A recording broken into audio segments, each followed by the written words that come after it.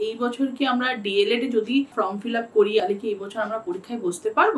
দু হাজার তেইশে যারা ডিএলএড করতে চাইছো কবে থেকে ডিএলএড এর ফর্ম বেরোবে?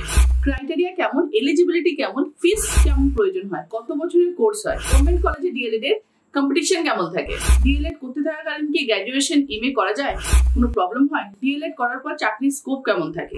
বিএড প্রার্থীরা কি পরে ডিএলএড করতে পারবে? অথবা ডিএলএড এর প্রার্থীরা কি পরে বিএড করতে পারবে? বিএড করা ছাত্রছাত্রীরা কি প্রাইমারি পরীক্ষায় বসতে পারবে? যাদের ডিএলএড নেই? এই নিয়ে যাবতীয় তথ্য তোমরা আজকে ভিডিওর মধ্যে পাবে।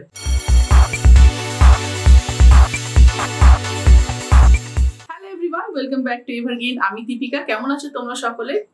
আশা করি তোমরা ভালো আছো, আমিও ভালো আছি। নিয়ে এসেছি তোমাদের জন্য একটা নতুন ভিডিও ডিএলএড এভার গেইনে তোমরা বিএড সম্পর্কিত যাবতীয় তথ্য কিন্তু তোমরা এভার গেইনে পাবে। তার সাথে ডিএলএড এরও তোমরা সব রকম তথ্য কিন্তু পাবে।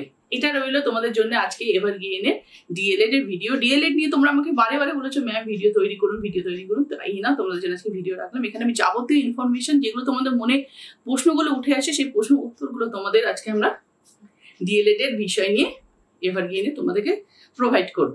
তাহলে চলো বেশি দেরি না করে আমরা ভিডিওটা শুরু করি, কিন্তু কি করতে হবে তার আগে যারা আমার চ্যানেলে নতুন আছো, তারা অবশ্যই কিন্তু চ্যানেলটাকে সাবস্ক্রাইব করে নাও, তাহলে তোমরা এই ধরনের বিভিন্ন রকম ইনফরমেটিভ ভিডিওসগুলো তোমরা কিন্তু অবশ্যই পেয়ে যাবে। এবার গিয়ে নেই, শুধুমাত্র ডিএলএড না বিএ সম্পর্কিত যাবতীয় তথ্য আছে। বিএ ডিএলএড তার সাথে আমরা pre primary primary teachers training নিয়েও কিন্তু আমি খুব তাড়াতাড়ি তোমাদের জন্য ভিডিও নিয়ে আসব। তার ক্রাইটেরিয়া ফিস এভরিথিং তোমাদের কাছে আমরা রাখব। যারা বর্তমানে টিচার হওয়ার চিন্তা করছ বা যারা ভাবছ আমরা ভবিষ্যতে বড় হয়ে টিচার হব, তাদের কিন্তু অবশ্যই এবার গিয়ে প্রত্যেকটা ভিডিও ফলো রাখতে হবে। কারণ এখানে টিচার ট্রেনিং নিয়ে যাবতীয় তথ্য দেওয়া হয় প্লাস চাকরি পরীক্ষা নিয়েও কিন্তু সব রকম ইনফরমেশন দেওয়া হয়। গাইড করে দেওয়া হয় কবে ফর্ম বেরোবে বা তোমাদের ক্রাইটেরিয়া কি আছে অল ডিটেলস কিন্তু তোমরা এর মধ্যে পাও। শুধু তাই নয় এসএলএসটি নিয়েও কিন্তু এই বিষয়ে এবার গিয়ে আলোচনা করা হয়। যারা ইলেভেন টুয়েলভ পড়াশোনা করছ, তাদেরকেও গাইড দেওয়া হয়। সো যারা নতুন আছো, অবশ্যই কিন্তু চ্যানেলটাকে সাবস্ক্রাইব করে নিও। তাহলে চলো ভিডিওটা আমরা শুরু করি। ফার্স্টে আলোচনা আসছে, প্রথম প্রশ্ন যে ডিএলএড এর ফর্ম কবে বেরোয়? ডিএলএড এর এইচএস এর পরে কিন্তু ফর্মটা বেরোনোর কথা। অলরেডি এইচএস হয়ে গেছে এইচএস এর রেজাল্ট আউট হয়ে গেছে ওয়েস্ট বেঙ্গলে এবারই কিন্তু তোমাদের জুন জুলাই নাগাদ তোমাদের ডিএলএড এর ফর্ম বেরোনোর কথা। ওকে কেন বেরোনোর কথা? কারণ ডিএলএড এর যে মার্কসটা এলিজিবিলিটির প্রয়োজন হয়, সেটা হয় এইচএস এর মার্কস ওকে সেই জন্য এইচএস এর যে রেজাল্ট আউট হয়ে যায় এরপরেই কিন্তু ডিএলএড এর ফর্ম বেরোনোর কথা। তাই জুন আর জুলাই এই দুটো মাসের মধ্যেই কিন্তু ডিএলএড এর ফর্ম বেরোবে। এবার গিয়ে ফলো রেখো। অবশ্যই কিন্তু তোমাদের এবার গিয়ে জানিয়ে দেওয়া হবে। ইদার তোমাদের নোটিফিকেশন দিয়ে দেওয়া হবে কমিউনিটি পেজে বা শর্টসে বা ভিডিও করে আমি তোমাদেরকে জানিয়ে দেবো। কোন সাইডে তোমাদের ফর্মটা বেরোয়? ওয়েস্ট বেঙ্গল প্রাইমারি বোর্ড এই সাইডটাই তোমরা যাবে। সেখানেই কিন্তু তোমাদের ফর্মটা বেরোয়। যখনই ফর্ম বেরোবে, তোমরা অবশ্যই ফর্মটা তখন ফিল আপ করে নেবে ওকে এবার আমরা চলে আসি যে কেমন খরচ হয়। ডিএলএড এ প্রথমত বলে রাখি দু বছর কোর্স ওকে বিএড এর যেমনি দু বছরের কোর্স ডিএলএড এও দু বছরের কোর্স কেমন খরচ হয়? ডিএলএড এর ফার্স্ট ইয়ারে ধরে নাও, যদি গভর্নমেন্ট কলেজ থেকে করতে চাও এইট থাউজেন্ডের মতো পড়বে ওকে আর এক্সাম ফিটা আলাদা থাকে। এক্সাম ফিটা টু থাউজেন্ড থেকে টু থাউজেন্ড ফাইভ হান্ড্রেডের মতো পড়ে, আর second ইয়ারও same eight thousand seven hundred seven thousand five hundred এরকম পড়বে বা এইট থাউজেন্ড পড়বে আর এক্সাম ফিটা তোমাদের আলাদা থাকে টু থাউজেন্ড বা টু থাউজেন্ড ফাইভ হান্ড্রেড এরকম পড়ে ওকে তোমাদের খরচটা গভর্নমেন্ট কলেজ থেকে। দু বছরের কোর্স হয় ফার্স্ট ইয়ার আর সেকেন্ড ইয়ার ওকে এরপর যে খরচগুলো থাকে মানে আনুষঙ্গিক খরচ যেরকম প্র্যাকটিকাম বা প্র্যাকটিক্যাল এইগুলোর কিন্তু প্রচুর একটা মানে খরচের একটা ব্যাপার থাকে। সেই বিএড এ করো বা ডিএলএড এ করো, এর জন্য কিন্তু এক্সট্রা তোমাদের টেন থাউজেন্ড ধরে রাখতে হবে। ওকে দেখো কলেজে যেমনি কালচারাল যে প্রোগ্রামগুলো থাকে, সেটা তো আলাদা টুকিটাকে সেই খরচাগুলো দিতে হয়।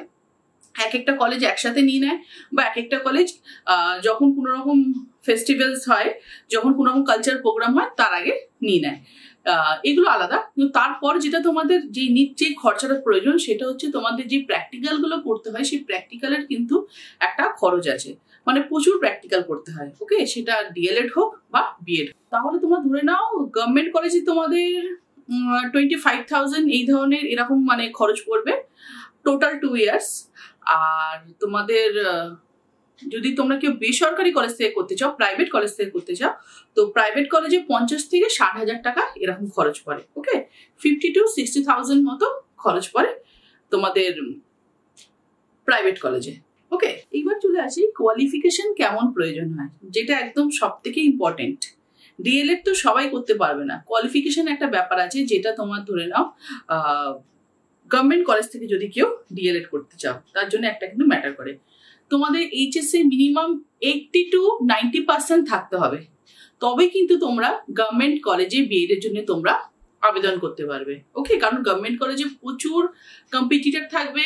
যারা ninety ninety to ninety three এরকম পার্সেন্টেজ নিয়ে থাকবে, তো স্বাভাবিক যাদের মার্কসটা বেশি, তারাই কিন্তু ফার্স্ট কাম তারা চান্স পাবে ওকে তো মার্কস তোমাদের যদি বেশি থাকে, তবেই কিন্তু তোমরা গভর্নমেন্ট কলেজে চান্স পাবে। তো যারা ইলেভেন টুয়েলভের স্টুডেন্টরা যারা এই ভিডিও দেখছ, তারা মাথায় রাখো, যারা যদি ভবিষ্যতে টিচার হতে চাইছো, আর অবশ্যই প্রথমেই ইচ্ছা রাখতে হয় যে আমরা গভর্নমেন্ট কলেজ থেকে করব। সে ডিএলএড হোক বা বিএড হোক ওকে খরচটাও কম থাকে, তো সেই জন্যই তারা কিন্তু এখন থেকে খুব ভালো করে পড়াশোনা করো, যাতে তোমাদের এইচএসসি যে রেজাল্ট হবে সেটা যাতে ভালো মার্কস থাকে minimum eighty five to ninety percent থাকে, তাহলে কিন্তু অবশ্যই তোমরা গভর্নমেন্ট কলেজে তোমরা ট্রাই করতে পারো। আর গভর্নমেন্ট কলেজে ট্রাই করলে অবশ্যই কিন্তু তোমরা পাবে। এবার চলে আসি প্রাইভেট কলেজে দেখো প্রাইভেট কলেজে বলা হয় সিক্সটি পার্সেন্ট তোমাদের মিনিমাম মার্কস থাকা দরকার। সে কল্যাণী হোক, বারাসাত হোক, বনগাঁ হোক, যে কোনো ইউনিভার্সিটি হোক না কেন, তোমাদের বলা হয় সিক্সটি পার্সেন্ট মার্কস থাকা দরকার। এরপর তোমরা যখন প্রাইভেট কলেজে গিয়ে যোগাযোগ করবে, কথা বলবে, তোমাদেরকে ওখানে কথাবার্তা বলে তোমাদেরকে নিয়ে নেওয়া হবে। প্রাইভেট কলেজ থেকে ডিএলএড করলে কোনো রকম মানে হেডেকের কোনো ব্যাপার নেই। তোমাদের একটা fifty five to sixty percent তোমাদের মার্কস থাকবে। তোমরা যাবে, তোমাদের রেজাল্টটা সার্টিফিকেটটা দেখাবে, আর তোমাদেরকে অ্যামাউন্টটা বলে দেওয়া হবে fifty five to sixty thousand এইটাই কিন্তু প্রাইভেট কলেজে ডিএলএড এর জন্য কিন্তু খরচ হয় ওকে এর চেয়ে বেশি কিন্তু হয় না। টু ইয়ার্সে ফিফটি টু সিক্সটি থাউজেন্ড খরচা হয় ওকে তো প্রাইভেট কলেজ থেকে যারা করতে চাইছো, তাদের তো কোনো রকম টেনশনের কিছু থাকে না। আর হ্যাঁ অবশ্যই তোমরা যখন প্রাইভেট কলেজ থেকে করতে চাইবে কলেজে কিন্তু অবশ্যই জানাবে। তোমাদের কোনো রকম ভাবে কম করে টাকাটা নিয়ে কনসিডার করুক, এটা তোমরা অবশ্যই তোমরা তোমাদের থেকে বলতে পারো। মানে এটা হয় ওকে প্রাইভেট কলেজ থেকে করতে গেলে। কারণ তাদের যেই কারিকুলামের যেই খরচটা তারা দেখায়, সেটা তো তাদের নিজস্ব থাকে, তা তারা ওখানে কিছু কম করে স্টুডেন্টদেরকে কনসিডার করে দেয়। সেই জন্য তোমাদেরকে জানিয়ে রাখলাম। এবার চলে আসি ডিএলএড কোর্স করা থাকলে তোমরা সরকারি কোন কোন পরীক্ষায় তোমরা বসতে পারবে? ডিএলএড কোর্স করা থাকলে তোমরা প্রাইমারি আপার প্রাইমারি তোমরা পরীক্ষায় বুঝতে পারবে ওকে এরকম অনেকগুলো কিন্তু চাকরির স্কোপ আছে। এই চাকরির স্কোপ নিয়ে কিন্তু আমি একটা ভিডিও করব যে শুধুমাত্র ডিএলএড কমপ্লিট করার পর তোমরা কোন কোন পরীক্ষায় বসতে পারবে ওকে তোমাদের যদি এই ভিডিওটা প্রয়োজন হয়, অবশ্যই কিন্তু আমায় কমেন্টসে জানিও, আর একটা করে লাইক করে দিও, তাহলে অবশ্যই কিন্তু তোমাদের জন্য আমি ডিএলএড এর পর তোমরা কোন কোন চাকরির পরীক্ষায় বসতে পারবে বা স্কোপ কি আছে চাকরি, এটা নিয়েও কিন্তু আমি খুব তাড়াতাড়ি ভিডিও রাখব। তার জন্য একটা করে লাইক করে দিতে হবে। আচ্ছা এরপর আমরা চলে আসি যে ডিএলএড করার সাথে সাথে কি আমরা গ্র্যাজুয়েশন আর এম করতে পারব? অনেক স্টুডেন্টরাই আছে, ভাবো এইচএস পাস করার পর, এই বছরই ভাবো অনেক স্টুডেন্টরা এইচএস পাস করার পর ইদার তারা গভর্নমেন্ট কলেজ হোক বা প্রাইভেট কলেজ থেকে তারা ভাবো চান্স পেয়েছে ডিএলএড করার। এবার অনেকেই ভাবে যে দু বছর আমি ডিএলএড করব, এর জন্য কি আমার তিনটে বছর নষ্ট হয়ে যাচ্ছে ওদিকে গ্র্যাজুয়েশনের তো অনেকে চিন্তা করে যে আমি দু বছর আমি কোর্সটা করছি মানে এটা তো একটা প্রফেশনাল কোর্স করছি, তার সাথে আমরা কেউ গ্র্যাজুয়েশন করতে চাই। তো গ্র্যাজুয়েশন বা এম করা যাবে কি? অনেকেই আছে গ্র্যাজুয়েশন করার পর ভাবে আমরা দু বছরের আমরা ডিএলএডটা করব। তার সাথে ভাবে এইদিকে দু বছর ডিএলএড করছি, এই বছর এইদিকে আমি দু বছর এম এটা করব। এটা কি পসিবল তো জানি দেখি এটা পসিবল ঠিক আছে? তোমরা করতে পারো। এতে করাতে কোনো প্রবলেম নেই, তোমরা করতে পারো। কিন্তু ধরে নাও, আমি একদম ডিটেলসে তোমাদেরকে এটা বুঝিয়ে বলছি, খুব ভালোভাবে শুনবে। যখন তোমাদের পরীক্ষা হয় প্রাইমারি পরীক্ষা। প্রাইমারি পরীক্ষায় ক্রাইটেরিয়াটা কি থাকে? তোমাদের এইচএস এর মার্কসটা দেখা হয়। যে এইচএস তুমি কত পেয়েছ? সেই মার্কসটা দেখা হয় আর তোমাদের ডিএলএড এর কোর্সটা করা আছে কিনা সেটা দেখা হয়। সেটা দিয়ে তোমরা অ্যাপ্লাই করতে পারবে। এখনও পর্যন্ত তাহলে কোনো প্রবলেম হয় না। প্রবলেমটা কোথায় হয়? যারা ভাবো ডিএলএড আর গ্র্যাজুয়েশন একসাথে করে। ডিএলএড আর গ্র্যাজুয়েশন একসাথে করে আর আপার প্রাইমারিতে যারা পরীক্ষার জন্য ট্রাই করে। আপার প্রাইমারিতে ক্রাইটেরিয়াতে কি দেখা হয়? আপার প্রাইমারি ক্রাইটেরিয়া পরীক্ষার ক্রাইটেরিয়াতে দেখা হয় গ্র্যাজুয়েশনের মার্কস ওখানে এইচএস এর মার্কস দেখা হয় না। প্রাইমারি পরীক্ষায় এইচএস এর মার্কস দেখা হয় আপার প্রাইমারি পরীক্ষায় গ্র্যাজুয়েশনের মার্কস দেখা হয়, আর এস এল তে তোমাদের পোস্ট গ্র্যাজুয়েশনের মার্কস দেখা হয়। তো যেই স্টুডেন্টরা চিন্তা করছ আমরা আপার প্রাইমারি পরীক্ষা দেবো বা কেউ চিন্তা করছ প্রাইমারি আপার প্রাইমারি একসাথে দেবো, সে প্রাইমারিতে এলিজিবল সে কারণ প্রাইমারিতে শুধু এইচএস এর মার্কস দেখা যাবে। কিন্তু যখনই সে গ্র্যাজুয়েশনের মার্কস দেখিয়ে আবার প্রাইমারি করবে, তখন তো শো হয়ে যাবে না যে সে ডিএলএডটাও সেই বছরই করেছে। তো দুটো তোমার সার্টিফিকেট একসাথে তোমরা শো করতে পারো না। মানে পারবে না, এতে প্রবলেম হবে। ওকে এটা তোমাদের পরে গিয়ে ইন্টারভিউর সময় তোমাদের প্রবলেম হবে। যে গ্র্যাজুয়েশন আর ডিএলএড এর যে সার্টিফিকেটটা আছে, সেটা সেম ইয়ার তো সেটা প্রবলেম হবে। মানে গ্র্যাজুয়েশন করতে থাকাকালীন ডিএলএডটা করা উচিত না। বা ডিএলএডটা করতে থাকাকালীন গ্র্যাজুয়েশনটা করা উচিত না। ওকে এটা তোমাদের প্রবলেম হবে। তো তাই যে স্টুডেন্টরা অনেকে স্টুডেন্টরা কিন্তু করছে। মানে অনেক স্টুডেন্টরাই ভাবো, আমার এরকম দেখা, যারা ডিএলএড করতে করতে কিন্তু তারা গ্র্যাজুয়েশন করছে বা গ্র্যাজুয়েশনের পর ভাবছে, আমরা ডিএলএডটা আবার করে নিই তো এইচএস এর মার্কস দেখিয়ে বা গ্র্যাজুয়েশনের মার্কস দেখিয়ে তারা কিন্তু ডিএলএডটা করতে থাকাকালীন তারা কিন্তু এমএ করছে। কিন্তু এটা মাথায় রাখতে হবে। তুমি আপার প্রাইমারিটা দেখাতে পারবে না। যদি তুমি এইচএস এর পর তুমি যদি গ্র্যাজুয়েশনের সাথে ডিএলএড করছ আপার প্রাইমারি পরীক্ষায় কিন্তু তোমার তখন অসুবিধা হয়ে যাবে। ঠিক আছে? তো এই জিনিসগুলো একটু তোমাদের মাথায় রাখতে হবে যে ইন্টারভিউর সময় কিন্তু এই জায়গাগুলো আটকে যায় স্টুডেন্টরা সেই জন্য তোমাদেরকে এগুলো আগে আমি জানিয়ে দিলাম যে একসাথে দুটো সার্টিফিকেট কোর্স করা যায় না। এবার বলা হচ্ছে যে প্রেশারটা কেমন থাকে?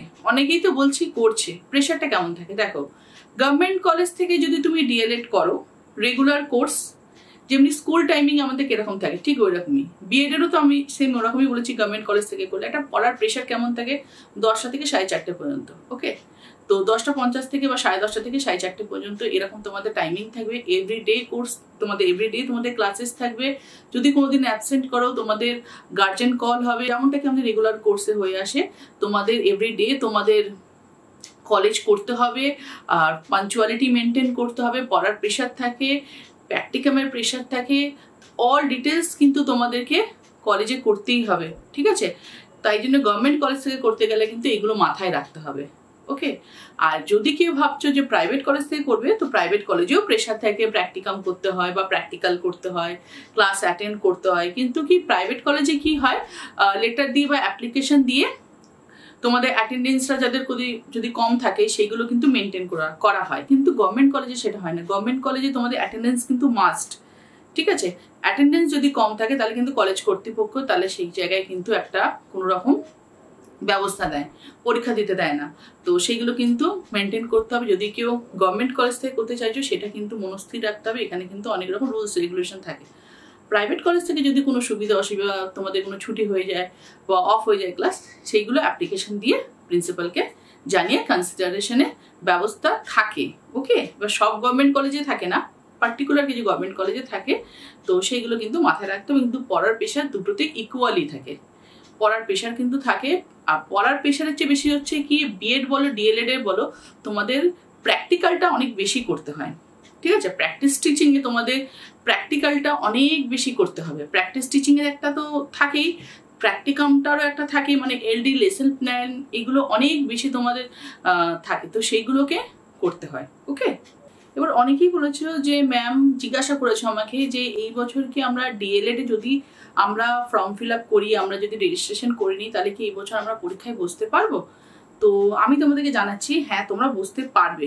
মানে লাস্ট ইয়ার প্রাইমারি হয়েছে ডিসেম্বরে তো এটা ধরে রাখতে হবে, এই বছর ডিসেম্বরে কিন্তু আপার প্রাইমারি অবশ্যই হবে। ঠিক আছে? হান্ড্রেড পার্সেন্ট শিওর এই বছর কিন্তু আপার প্রাইমারি হবে। তো যারা অলরেডি ভাবো এই জুন, জুলাইতে যখনই তোমাদের ফর্ম ফিল আপ হবে তখন তোমরা ফর্ম ফিল আপে তোমরা ফর্ম ফিল আপ করে নেবে, তোমাদের যখনই কলেজে রেজিস্ট্রেশন হয়ে যাবে, তোমরা কিন্তু অবশ্যই তোমরা পরীক্ষায় বসতে পারবে ওকে আপার প্রাইমারি হোক প্রাইমারি হোক, যাই পরীক্ষা হোক না কেন, তোমাদের ডিএলএড করতে থাকাকালীন কিন্তু তোমরা অবশ্যই পরীক্ষায় বসতে পারবে। তাহলে এটা একটা খুব ভালো বিষয় যে ভাবো যদি কেউ সিলেক্ট হয়ে যাও পরীক্ষায়, তো তাদের কি হচ্ছে? তারা সময় পাবে, তারা এদিকে তোমাদের ডিএলএড এর কোর্সটাও করে নেবে, এদিকে তোমরা ইন্টারভিউ হয়ে চাকরিটাও হাতে পেয়ে যাবে। এবার বলে রাখি যে ডিএলএড করলে তোমরা কোথায় কোথায় ট্রাই করতে পারো। ডিএলএড করলে তোমরা প্রাইমারি আবার প্রাইমারি পরীক্ষায় তোমরা ট্রাই করতে পারবে। তারপর এখন প্রত্যেকটা বেসরকারি স্কুলে কিন্তু ওয়ান টু ফোর জন্য কিন্তু প্রাইমারি সেকশনের জন্য যদি তুমি ট্রাই করতে চাও, তোমার কিন্তু অবশ্যই এখন ডিএলএডটা দরকার পড়ছে।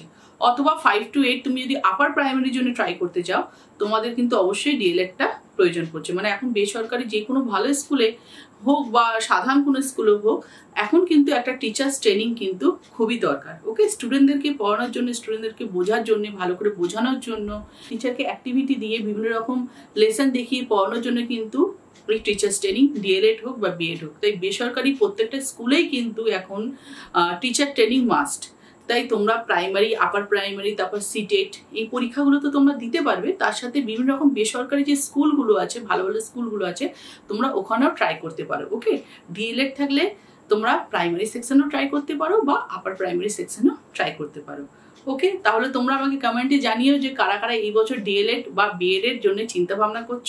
আচ্ছা এরপর একটা প্রশ্ন তোমরা বারবারে করেছ ম্যাম যে আমরা বিএড করেছি, আমরা কি প্রাইমারি পরীক্ষায় আপার প্রাইমারি পরীক্ষায় বসতে পারব? দেখো লাস্ট ইয়ার পর্যন্ত যা হয়েছিল, যেরকম দেখা গেছিল যে বিএড করা স্টুডেন্টসরা তারা প্রাইমারি আপার প্রাইমারি পরীক্ষায় বসতে পারবে। ডিএলএড না থাকলেও বসতে পারবে। হ্যাঁ এতে কি হয়? কম্পিটিটিভটা অনেক বেশি হয়ে যায়। মানে পরীক্ষায় আসন সংখ্যা অনুসারে ক্যান্ডিডেট অনেক বেশি হয়ে যায়। একটু তো সেই জায়গাটায় চাপ থাকে, কিন্তু বসতে পারবে। ঠিক আছে? মানে লাস্ট পর্যন্ত যা হয়েছিল বুঝতে পারবে। তাহলে এই বছর কারা কারা ডিএলএড করছ বা কারা কারা বিএড করছ, এইটা নিয়ে কিন্তু অবশ্যই আমায় কমেন্টসে জানিও। আর তোমাদের যদি আরও কোনো প্রশ্ন থাকে, অবশ্যই কিন্তু আমি আমাকে জানিও। পরের ভিডিওতে সেই বিষয়গুলো নিয়ে আমি আলোচনা করব। তাহলে সকলে সুস্থ থেকো, ভালো থেকো। দেখা হচ্ছে আমাদের পরের ভিডিওতে। বাই